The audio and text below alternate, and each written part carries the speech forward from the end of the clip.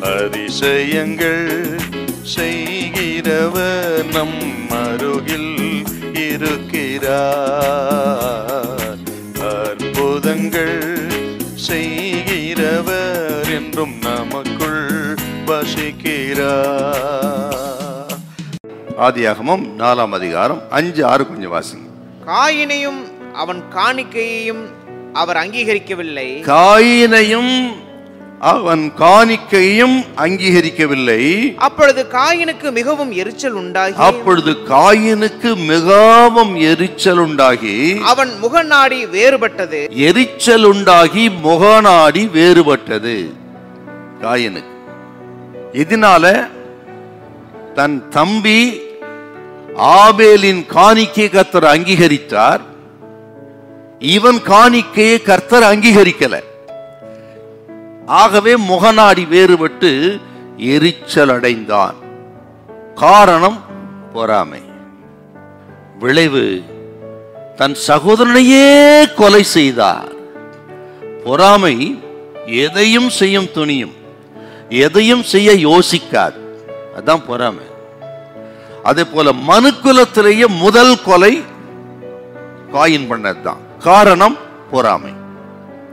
இதனால இந்த அளவுக்கு காயின் வந்து தீவிரமா சகோதரன் பேர பொறாமை கொண்டான். தன்னை விட தம்பியை தேவன் அங்கீகரித்து விட்டாதான் தன்னை காட்டிலும். நம்மை காட்டிலும் அதிகமாக யாராகிலும் தேவனால் ஆசிரிக்கப்பட்டால் சந்தோஷத்தான் படணும் சந்தோஷப்பட முடியலன்னா சம்திங் ராங் அப்படின்னு அர்த்தம். நீங்க அதை டெஸ்ட் பண்ணிக்கிடணும். ஆக ஒருத்தரை தேவன் ஆசிர்வதிச்சா சந்தோஷப்படணுங்க. பிள்ளைகளை தேவன் ஆசிர்வதித்த சந்தோஷப்படணும். அடுத்தவர் பிள்ளைகளுக்கு நல்ல வேலை கிடைத்தால் திருமணங்கள் நடந்தால் ஆக புத்திர பாக்கியங்கள் உண்டானால் நல்ல கார் வாங்கினா வீடு கட்டினா ஆக ரொம்ப சந்தோஷப்பட அதுக்கு பேர் தாங்க சகோதர சிநேகம். அதுக்கு பேர் தான் ஒரே குடும்பம். திருச்சபங்கிறது ஒரே குடும்பம். ஒரே குடும்பத்தில் இருக்கிற சகோதர சகோதரி மத்தியில் இந்த சந்தோஷம் நமக்கு வரணும். அதுதான் கிறிஸ்துவின் சந்தோஷம். நமது ஆண்டவர் இயேசுவின் சுபாவம் என்னங்க? நான் செய்கிற கிரிகளை தானும் செய்வான். அதை காட்டிலும் பெரிய கிரிகளை செய்வான்னா ஆண்டவருக்கு தன் பிள்ளைகள் எழும்பி ஆக பலத்த கிரிகளை செய்வது கண்டு அவ்வளவு சந்தோஷம். அப்படி அவர் ரத்தத்தால் மீட்கப்பட்ட நீங்களை நானும் எவ்வளவு சந்தோஷப்படணுங்க. அந்த கிறிஸ்துவின் சுபாவம் நமக்கு வரணும்.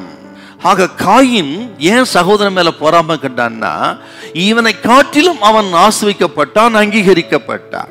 ஆக நமக்குள்ள ஆக இந்த பொறாமை வராம காத்துக்கிடுங்க ஒருவர் என்கரேஜ் பண்ணுங்க ஜெபம் பண்ணுங்க தோத்தர் பண்ணுங்க. கர்த்தர் உங்கள் பிள்ளைகளை உயர்த்துவார் உங்களை உயர்த்துவார். கர்த்தர் நம்ம கைவிடவே மாட்டார். Hallelujah hallelujah